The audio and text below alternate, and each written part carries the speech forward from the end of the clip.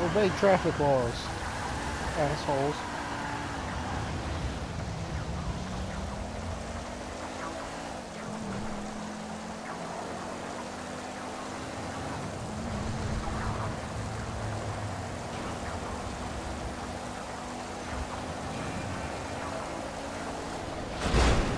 What the hell was that?